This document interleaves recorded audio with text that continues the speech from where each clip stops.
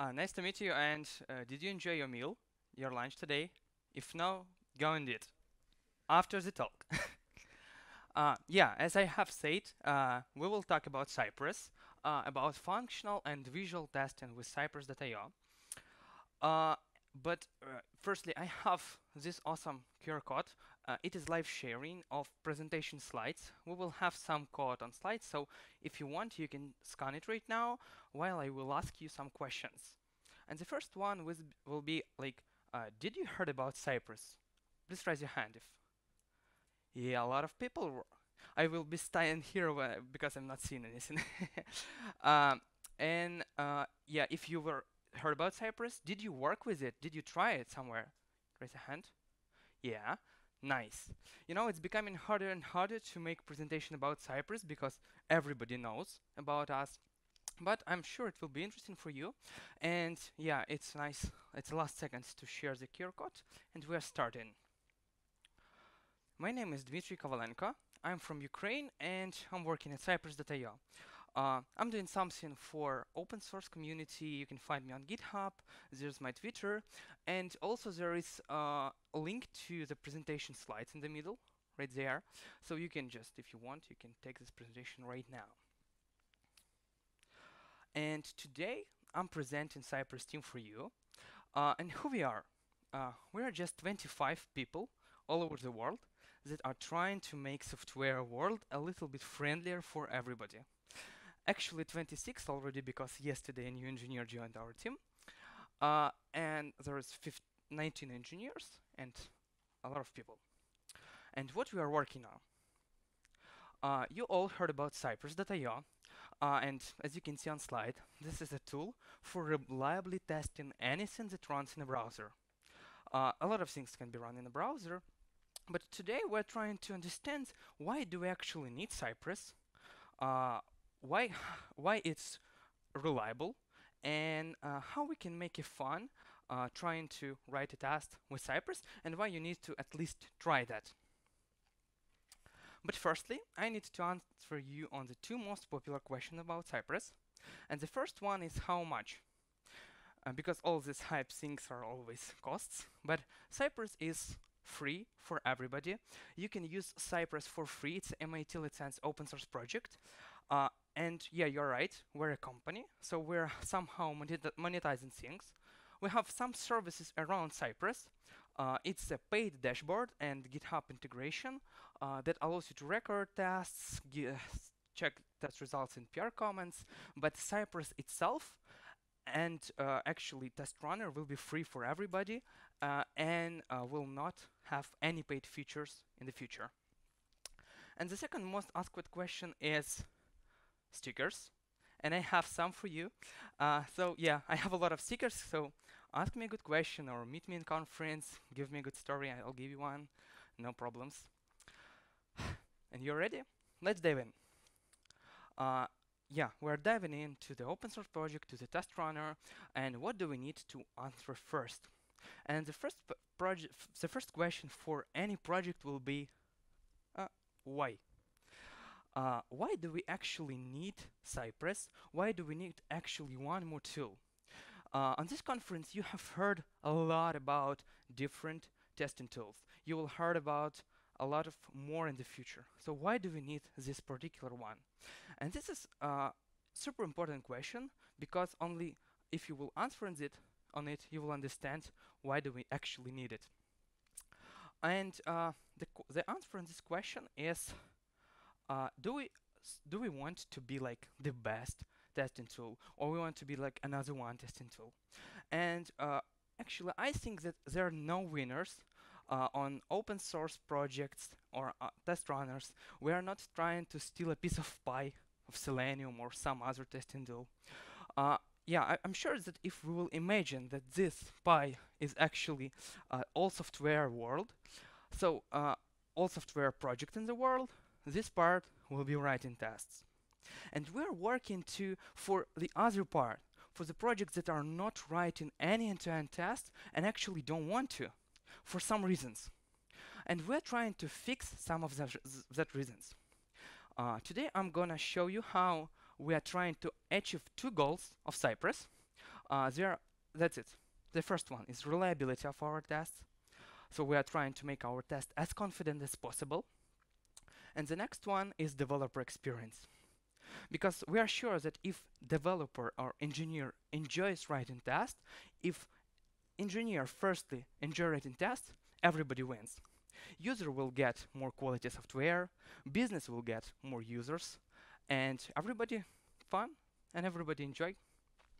So uh, we, we will start from actually developer experience, how we are working to make Cypress uh, the most enjoyable tool.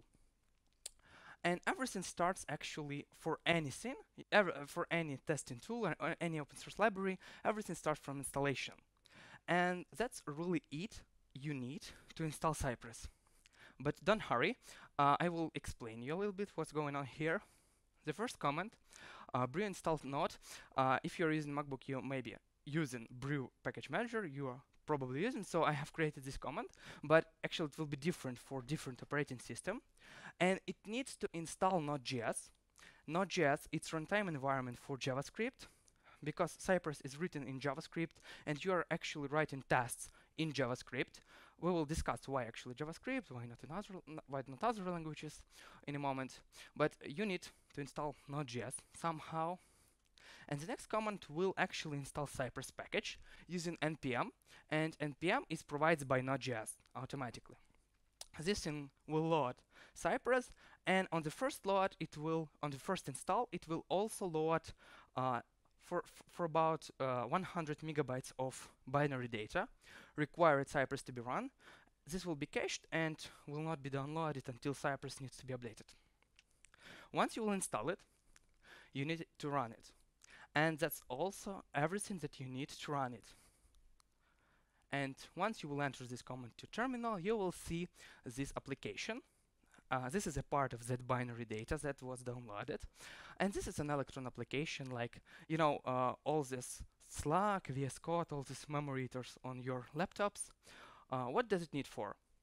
Uh, it is displaying all the specs you have in the project, uh, list of files, and you can run one file from this spec, or you can run all the specs, all the specs.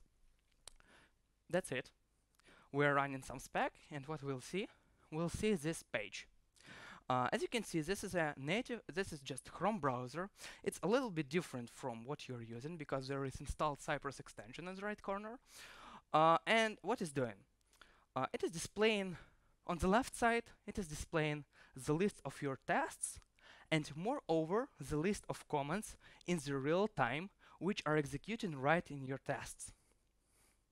On the right side, you will see your application in the real time. It's a real application that is right now doing something and controlled by Automate software. Yeah, there is a hint that right now Chrome is controlled by Automate software. And that's it. Everything you need to know about Cypress, I have, so I have said you, but now you probably ask me, where is the code? And there is Cypress code. Uh, this is actually Cypress syntax, and do you know which language it is? JavaScript. Yeah, I have said it two minutes ago. Uh, but uh, actually, uh, by the way, uh, do you have any experience in JavaScript? Please raise your hand. Yeah, not so many. It doesn't matter. Uh, because uh, Cypress does not require from you any advanced JavaScripting right there. It is just very like simple syntax and it yeah it can be described like uh, an additional syntax for JavaScript because uh, writing tests are always different from writing code in JavaScript. So what do we have? Uh, it is uh, Cypress based on Mocha. It is test framework. Uh, you will hear about it tomorrow on one of the talk, and uh, you cannot change it. Somebody will say that it's a problem. Yeah, what if I want to use, for example, Jasmine? Uh, but somebody will say that it is really weird when you have two different projects using the same tools for uh, running tests, but their code looks entirely different. So we decided to use Mocha and very basic of syntax Cypress. Describe. Uh, it's just uh, several specs that combine it in one context. Before each surprise will run before each test. And Cypress tests, uh, you can also use before uh, before as before all. and here is Cypress test. You're setting Cypress test name, and all the commands that are executed by Cypress automatically uh, they are attached to the global Cy variable. Uh, and make sure that here is no additional uh, async await syntax. Uh, there is no waits, there is no async await syntax. Like for example here, uh, where we can see that uh, most of the test is like some additional code, like immediately in invocated function at the top, then async awaits, and Cypress is doing everything, uh, every async awaiting, async awaiting by itself because all the commands in our end-to-end -end tests by default are asynchronous. Uh, but what is more important if we are talking about syntax uh, is uh, the expressiveness. We think that expressiveness of tests are really important, so you can just uh, read your test and understand without actually uh, knows how Cypress works, understand what's going on there. I love to compare it to this stuff. Uh, let's change Cypress global Cypress variable to user, and we can read our test like uh, before each uh, user visiting some page. User gets a mail field, type in there something, then it observes that uh, something is showed in validation error, uh, and so on and so forth. Somebody even using Cypress test as some kind of documentation and generating user guides based on Cypress tests, which is really important. And I'm sure you are tired from this like demonstration, so I have one formula for you. It's very simple, don't worry. One time to see is better than 100 times to hear. And this is the time for live demo of Cypress. Wish me some luck. Thanks. Uh, and I have prepared a project. Uh, can you hear it well? Right? So uh, we have the code.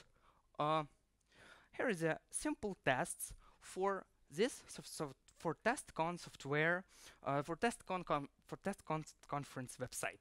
Yeah, I, I spelled it. Uh, let's run our tests. firstly, let's go through the syntax. So what we are doing, we are just will test speakers page. Uh, we will visit some page and contains it. Uh, check that this page contains speakers lineup and check that there are 56 speakers. Let's run it. Oh, oh, oh.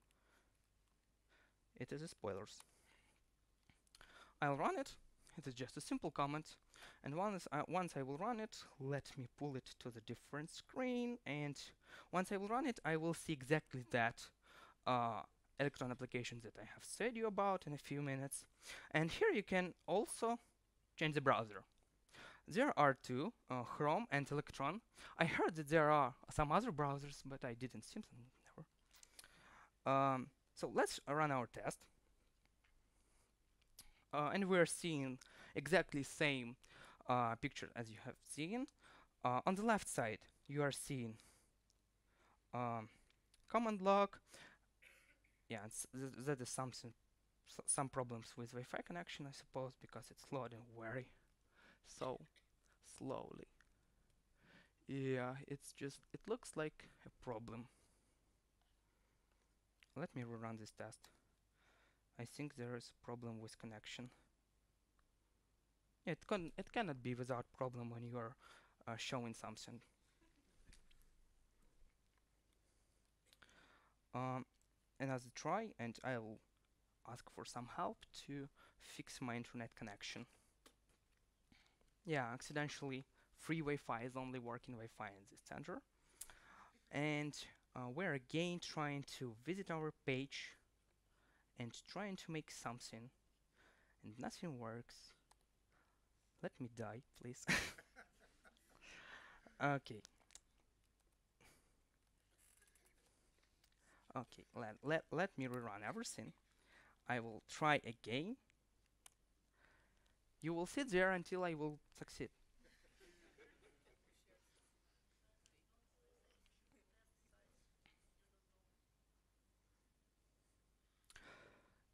Loads. Finally, I am sorry.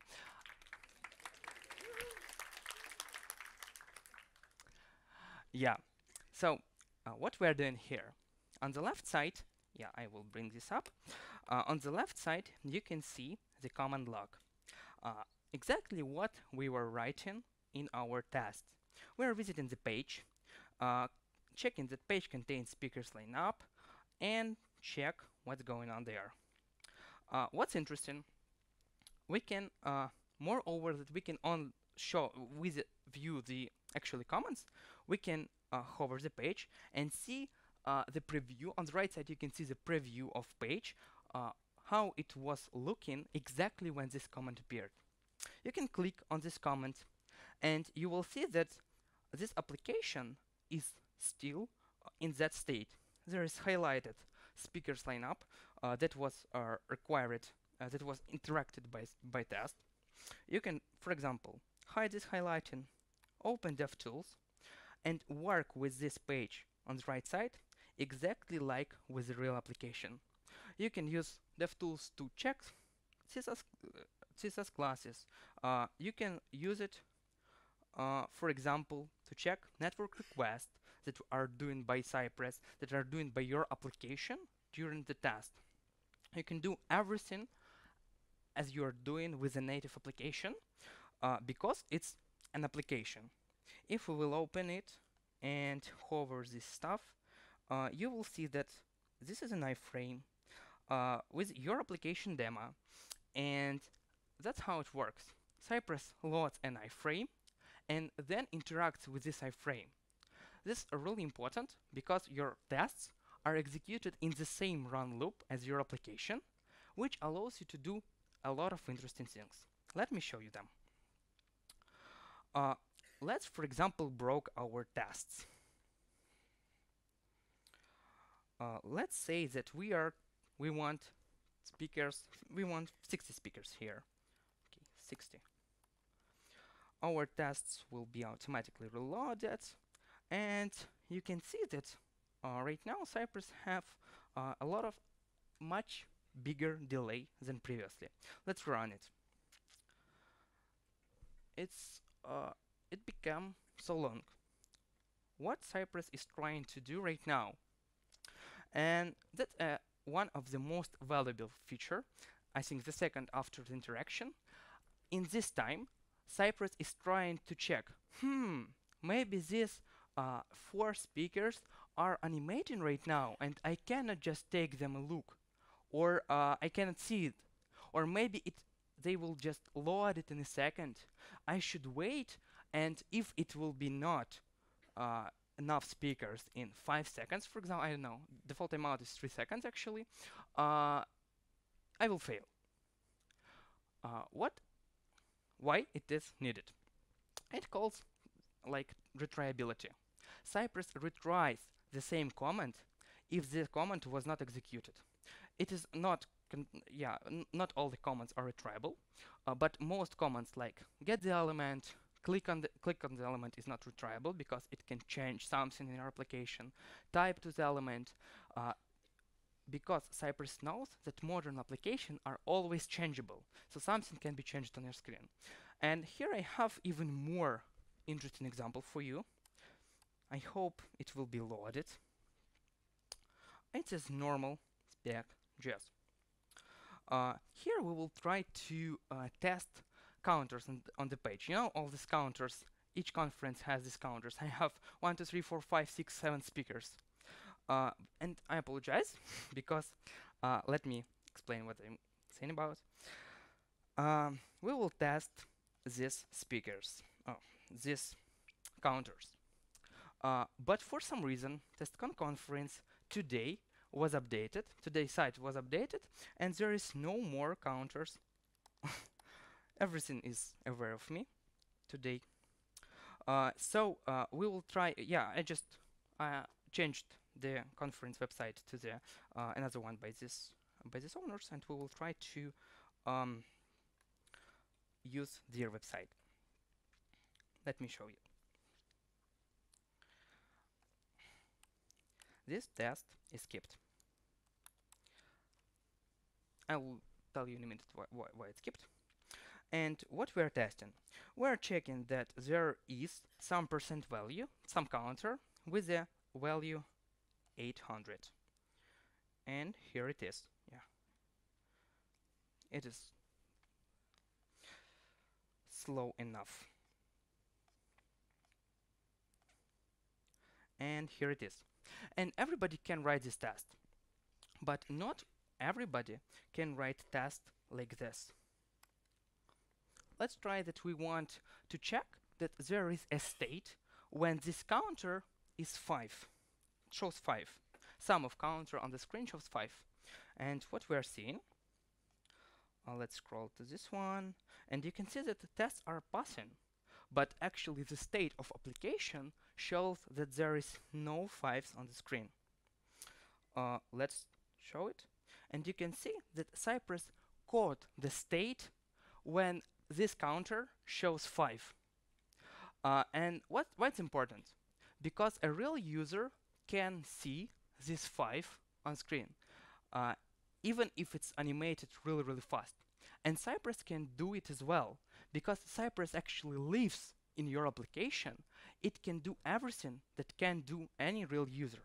And we will if we will try to uh, test it several times you will see that it's possible that Cypress is missing 5 somewhere. And it will show you yeah it's still 5 but it can miss 5 somewhere and it will show you another state when it will be for example 15 why it's going on? Uh, because Cypress is actually trying and trying and trying to find to find this element this is uh, was not loaded. Anytime Cypress is trying to find this element uh, more and more. And if your machine is not fast enough you will just miss the step when it was 5 on the screen.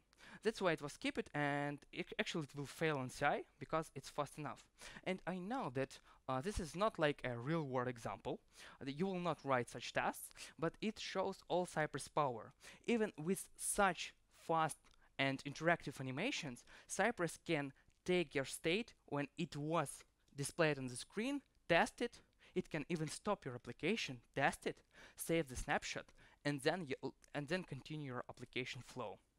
And this is what makes Cypress so re reliable. Um, I have also, yeah, I have two more things to show you with Cypress. Uh, yeah, we're saying that uh, Cypress, Cypress tests are written in JavaScript. Uh, so if we will do like, let me skip this test, and let me write not a skip, but make a typo. And you can see that nothing is actually saying me that I made a mistake. If we will open Cypress and try to run it,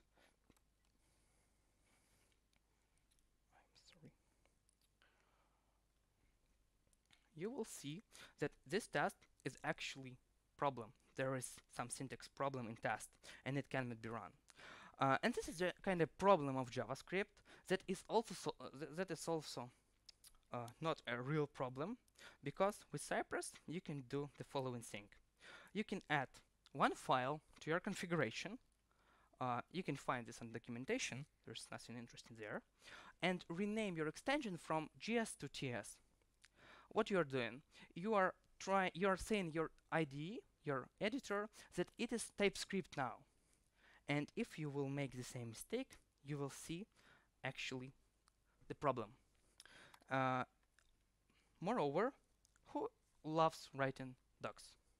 Nobody, right? Uh, Cypress. In Cypress, we're uh, taking like 25% uh, of time trying to write docs, and I need to restart my editor anymore.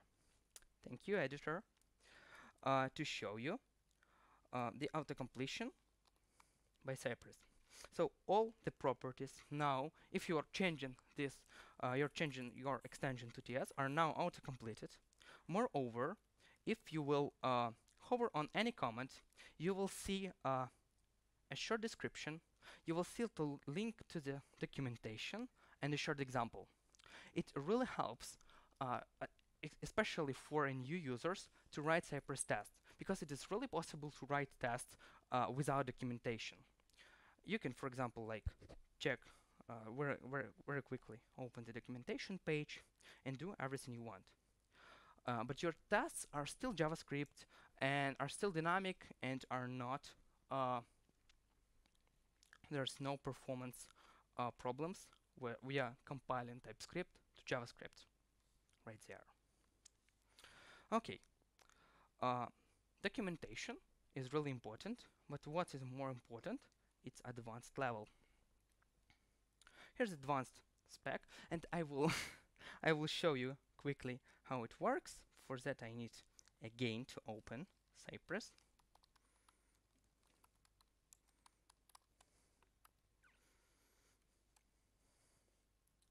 And we will just see how Cypress is uh, works live. This is advanced spec is actually just testing the navigation uh, and um, displaying your application on the state. It is uh, just taking all the links through the application and going through the, all the links, going through the, the uh, pagination on speakers page and going to contact us page and we are seeing that there is a problem. And why I did left this test? Uh, because actually um, there were a contact form right there and there is no more contact form anymore. I suppose that there is some issue of uh, the latest deployment because uh, this is like I, I caught bug for free no no problems uh, because there is just like a markup problem right there and no more form. I don't know maybe TestCon mm, organizers doesn't work and doesn't want any feedback. Uh, so yeah like Cypress allows you to write tests that will be as reliable as possible and will be really fast and interactive. That's what you can see. Uh, and now, when you saw a Cypress demo with all these problems, uh, we can get back to the boring and can talk in a little. Oh, I have even closed the presentation.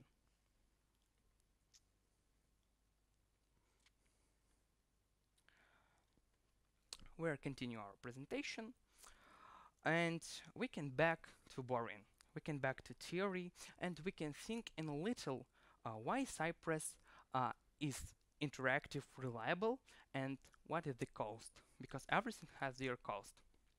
And we will try to do that by comparing with Selenium architecture. Two different designs. Uh, again, I'm not trying to say that Cypress is better than Selenium. Everybody has their advantages, disadvantages, and drawbacks. Uh, here is Selenium. How Selenium works? It's pretty good user architecture. Uh, our code right there uh, talks to WebDriver what we want to do with browser. WebDrivers says it to browser and everything works, right? Uh, problems. Uh, these arrows, these connections between browser and code, uh, between WebDriver and browser, browser and WebDriver, WebDriver are HTTP based.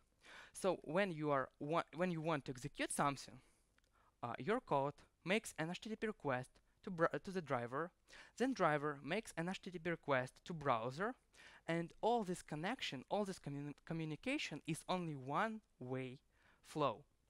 Uh, there is no way to just get the feedback of browser. Oh wait, I'm animating something, or like anything, and that's kind of a problem because everything modern applications are always changing. Uh, everything is changing. We're entering something, something appeared. Animation was started.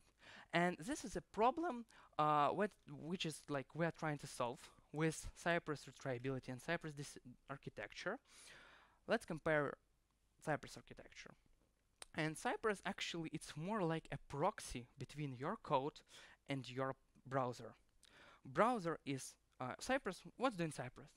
uh, it is taking your code, brings it to browser and say, okay, I will run it right there and will interact with application that is loaded on the same page with iframe. And that makes Cypress to do a lot of lot of things. As I have said, it can stop application. It can, it can wait while some element will be loaded. It can do a lot more things uh, that Selenium is doing with page and with UI but it is also cannot do a lot of things that Selenium is doing. Uh, yeah, I have, uh, yeah, also there is a nice thing with uh, Cypress uh, because Cypress is actually is uh, not outside of your application but is like inside your application uh, Cypress can more properly simulate user behavior. Uh, let me check. Let me show you next slide. And here you can see a strange word actionability. Uh, it's our term that we are using to determine that some control on the page is actually possible to use for a real user. For example, if you're opening a page and cannot see a button, you will never be able to click on that if you're a real user. Uh, that's why Cypress always, if you need to click on button or type something in a field, it will firstly scroll this element into view and then will try to find it. It will not uh, simulate any event if field is hidden, if something is disabled, read-only, or even if uh, set it, it's set like width 0 pixels, height 0 pixels. Uh, then uh, this element will never be displayed on the page, and then Cypress will never be interact with it. And that makes also that's adds a lot of a lot more confidence and a lot more reliab reliability to your tests, because your tests working exactly like your user doing. And actually that's why Cypress uh, can use only one language. Because your tests are executed right in the browser, you know that browser browser can execute only JavaScript. That's why Cypress tests can be written only in JavaScript or with any compiled to JavaScript language like TypeScript. It's one tap. Because of our application is inside and our tests are inside a tab, it will be like a giant security hole. It, it, it will be possible to interact with other tab from another tab or another window. And it's not possible any anyhow. And that's why one browser, at least possible, at least for now, I'm sorry. Uh, one browser, why one browser? Because of our Cypress tests are executing right in the browser, we're using a lot of browser-specific functionality. Uh, if we'll compare it to, to, Selenium, which have WebDriver outside of browser, and all the browsers are implementing WebDriver, WebDriver interface, uh, we need to do that for each specific browser, which is just a tons of work, and we are working on that. But for now, you can use only one browser, uh, at least only one browser engine, and engine is Chrome. And also, that's why Cypress is less flaky, so fast, and interactive, because we are living in the same run loop as your application did. Yeah, I know that it looks like the end, but it's not the end. I have, uh, yeah, I have not uh, like uh, get the right transition between these two, two parts of application. So do you remember that our talk is called like uh, visual and functional and visual testing? So we are we will talk in a little about visual regression and uh, please raise your hand if you have tried visual regression or, or been doing visual regression. Uh, Okay, uh, and uh, sorry, and right now raise a hand if you have heard about and you know what uh, what visual regression is. Okay, uh, so that's why we need to explain it.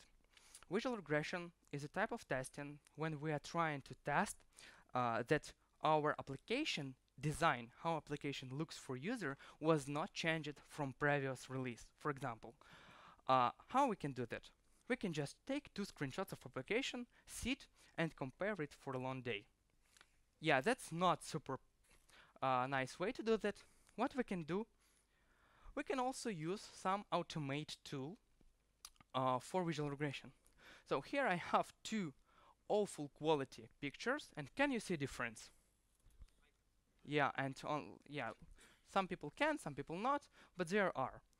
Uh, you can see that actually on the left side we are seeing icons and the right we are not seeing it and it is really some some things that are uh, possible to lose when you are uh, get used to application so uh, visual regression allows you to just automatically compare what's uh, doing with your application UI why do we do that why do we need that? Uh, it's a nice question because we don't want our application looks like this. Uh, this is a Stack Overflow when there was a problem with uh, not loaded CSS and everything works. All the links are working uh, and even functional tests like end-to-end -end tests will not see any problem because all the controls right here, all the attributes are there. Uh, we can go to any page, we can see any content, but real user will not use this application. And I have a story when we uh, one time uh, just uh, yeah we were so lucky but we have uh, pushed to the production uh, a page with a widget that were looks like this without CSS at all because we have some tests and we were not just like doing any manual regression and this is a problem I know that such things are really hard to miss or something uh, but uh, a lot of things can be changed without actually a lot of load for you. So do you remember manual regressions? How we can, how we've been doing like uh, each uh, each end of sprint, we are sitting three days and manually regress the application uh, with giant Google Doc. Yeah, it was a nice times. And in one company I worked before Cypress, we've been doing more. We are doing uh, we've been doing visual regression. So this uh, visual regression uh, doc contains all the screenshots and our QAs was needed to prove that our application was not changed visually. Uh, and before these regressions, our QAs were like this. Uh, and if you want to be not like this, but like this, I will show you how to do that. Uh, I will show you an example how we can use visual regression service with uh, uh, Cypress and we will use Percy. It's a visual regression service. It allows you to record 5,000 of uh, tests of visual snapshots per month free for free. So it can even be used really in commercial applications. And what you do need? You need to install it. Uh, also, you need to connect to configuration file and add some code there. I think there will there will be no problems. And also you can you need to register in Percy and get the proper um, key for running our tests. There is uh, nothing really specific there. And then run them. So we are visiting the page and saying cy Percy snapshot main. Main is the name of our application or uh, the name of snapshot. And again, my formula, and I'll show you. I'm sorry, but I need to show you that, how it works.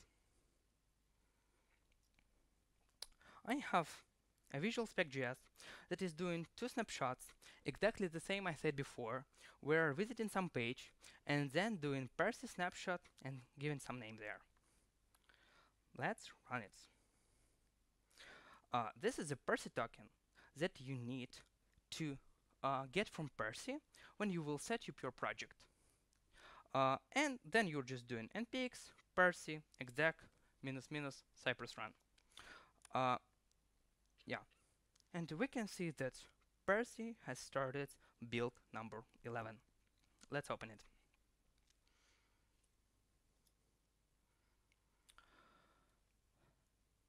Yeah, let's not wait to the uh, this build to be end. Uh, we will get back to it in a minute and I will show you the most interesting part of this presentation. Uh, yeah, my failures was the most interesting, I know. Uh, yeah, and uh, do you know how uh, application, how our website, conference website changes after a conference starts? We can take that. Today I have started a build, this one, uh, that check how website changed after conference start. And what we can see right there, we can see that there is no more uh, this timer, and it's, it's, it's expected. There is some uh, menu shows location where the conference starts. Uh, also, we can see that everything was lifted several pixels up, and that's like uh, that's not like a problem, but it's interesting to know that. uh, here we can see an interesting arts and there is still no more timers right there uh, and the, the most interesting things are on the second screenshots still maybe I will uh, I uh, caught a bug for TestCon website but as you can see that here we have this triangle icon but here we have this triangle icon. Release blocker.